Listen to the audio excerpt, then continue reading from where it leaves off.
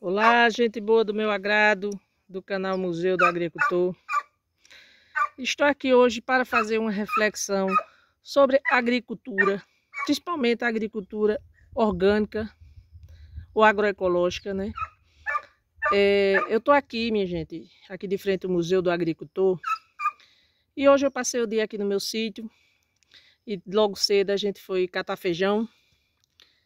Aqui o resultado, ó, feijãozinho verde, esse aqui é o verde, porque tem mais. Tem um seco que eu guardei ali. Olha outro, outro produto aqui que o nordestino gosta, adora, que é a fava. Essa fava aqui é uma semente de fava.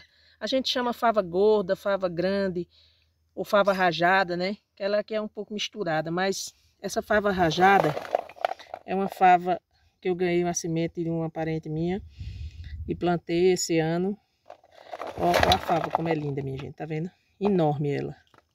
Isso aqui vai dar uma favada boa. E também eu quero aqui mostrar a vocês a produção do meu pezinho de tomate cereja, ó. Esse pé eu catei agora, agora, agora. Aí me lembrei de fazer esse vídeo. Porque eu sempre falo nesse pé de tomate cereja, que na verdade nem fui eu que plantei. Quem plantou esse pé de tomate cereja, na verdade, foi os passarinhos. E aqui eu divido o lucro, né? A produção com eles. Agora, agora tinha um passarinho comendo aqui, ó. Você vê, ó, que tem algumas aqui, ó. Que é, é, eles que comem. Mas é justo, né? Porque foi eles que plantaram. Isso aqui é só um pé, viu, minha gente? Eu acabei de catar essa parte aqui, ó. Você não tá vendo mais a madurinha desse lado, porque eu acabei de catar. Só deixa as verdes, né? Aí vou passar aqui para o outro lado. Para mostrar a vocês o quanto a natureza é bela sabe e, e, e, é sábia, né? Aqui nem foi preciso eu plantar para colher. Eu sempre gosto de usar essa expressão, né? Planta, quem planta, colhe. Olha aqui, ó, o passarinho. Aí tem gente que fica bravo porque o passarinho come. Caramba, mas se foi ele que plantou. Nada mais justo, né? E aqui eu ainda roubo dele, né?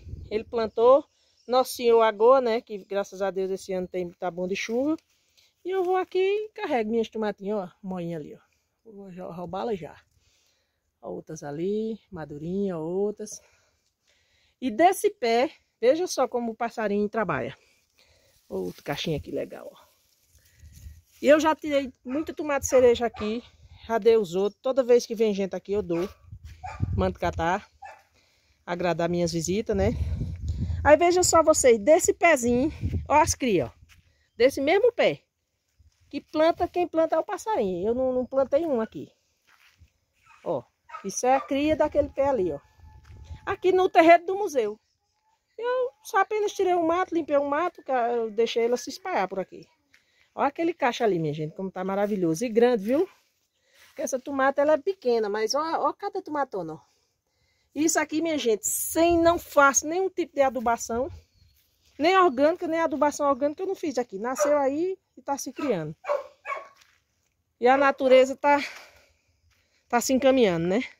E eu apenas tenho o trabalho de pegar minha vasilhinha e vir catar quando tem tempo. Então é isso aí, minha gente. Só para finalizar esse vídeo mostrando que por isso que eu sou fã da agricultura. Nasci e me criei na agricultura.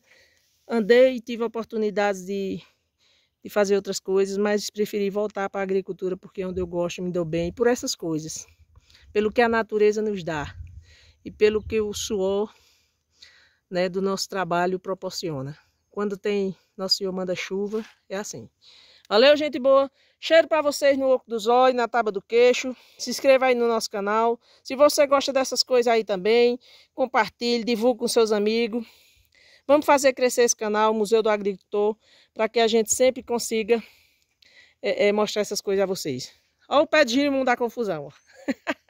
é agora que tá botando figa de girimum. É porque aqui eu já tirei um bocado. Parece que aquele roubo foi um roubo abençoado. Depois que o caba roubou o girimum, o pé de girimum manifestou-se mesmo. Valeu, gente boa. Cheiro para vocês.